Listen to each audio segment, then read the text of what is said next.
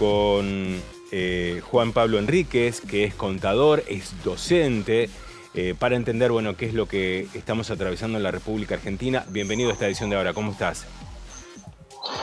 Buenas noches, Fernando, y a toda la audiencia de Canal 9, un placer. Bueno, varios factores confluyen en esta eh, corrida cambiaria. Estamos hablando de problemas internos en frente de todo o una interna dentro del frente de todos, pero también un importante caudal de especulación en el contexto económico inflacionario de la República Argentina.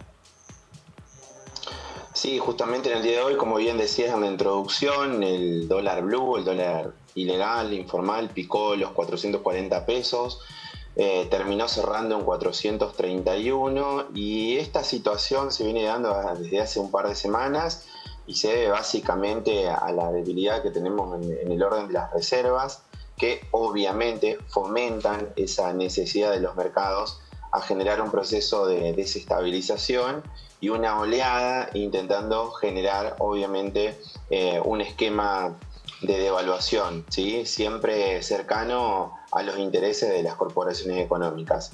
Eh, obviamente que tampoco terminan sumando a este escenario esas internas que se van pronunciando en el orden de los funcionarios del Frente de Todos, como fue el caso del saliente jefe de asesores, eh, donde se había conocido un paper que mostraba eh, la posibilidad de una urgente devaluación. ¿sí?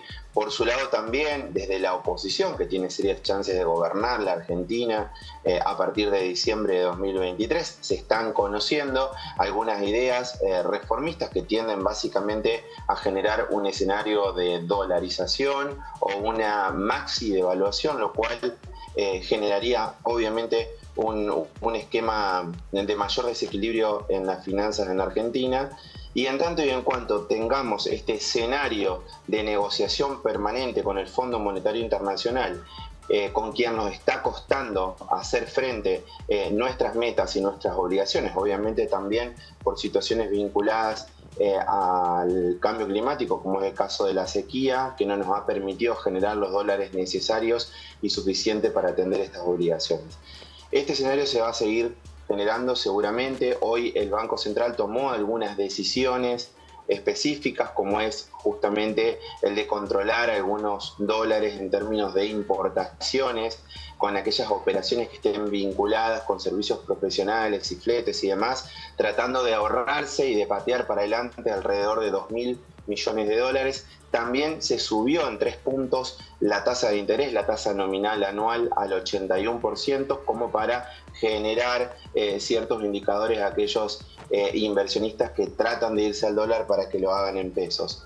Em, seguiremos en tensiones permanentes en las próximas semanas. La solución se va a dar cuando se comience a fortalecer el nivel de reservas. En todo este escenario hubo una noticia buena en el día de hoy, que se acumularon más de 1.700 millones de dólares de reservas provenientes, de dólares provenientes que acumulan a las reservas, pero provienen del dólar soja 3 eh, como bien dijimos en otras semanas, este dólar viene a fortalecer las reservas para cumplir con las metas del Fondo Monetario Internacional, así que esperemos que en ese horizonte, en ese sendero, eh, comiencen a encontrarse los equilibrios que necesitamos, porque este aumento del dólar blue, como bien saben todos, más allá de ser un, un mercado ínfimo y pequeño, termina repercutiendo en el nivel de precios eh, y en el espiral de precios de todos eh, los horizontes comerciales. Cuando estamos hablando de esperar, también deberemos esperar a que pasen los efectos de la sequía. Esto llevará mucho más tiempo, por lo tanto debemos, pareciese que acostumbrarnos a estos vaivenes económicos hasta tanto esto se normalice y también habrá que ver cómo impactan las futuras elecciones en el esquema eh, de la economía nacional. Sí, justamente porque también, como te decía, la oposición está marcando un sendero de o dolarización o de maxi devaluación, lo cual obviamente inquieta a los mercados en función de qué será lo que ocurrirá. Eh, tenemos que dejar en claro que si se produce un escenario de dolarización, cosa que es bastante difícil de llevar a la práctica, como lo hizo en su momento Ecuador, eh, la gran mayoría de los argentinos va a quedar en una situación de miseria absoluta y eso termina siendo un negocio solamente para algunos pocos que son los conglomerados vinculados al poder financiero internacional, mientras que en Argentina la gran cantidad de asalariados va a quedar por debajo inclusive de la línea de indigencia sin posibilidad de remontar esa situación. Seguramente no va a haber más inflación, pero va a haber una miseria planificada como en su momento decía Rodolfo Walsh. Juan Pablo Enríquez, contador, docente, muchísimas gracias por toda la información brindada. Gracias a ustedes. Un hasta luego. Hasta luego. Y en el contexto, obviamente, de esta volatilidad del dólar blue y también arrastrando, obviamente, el resto de las otras cotizaciones, el Banco Central de la República Argentina ha modificado lo que refiere al plazo fijo, subió la tasa de interés 7.7 es la inflación de marzo, la suba de la tasa 300 puntos básicos. Vamos a compartir a continuación específicamente cómo ha quedado establecido. Allí vemos 81% el plazo fijo tradicional y de las LELIX, el 118 de tasa efectiva anual y el 6.75 de tasa efectiva mensual.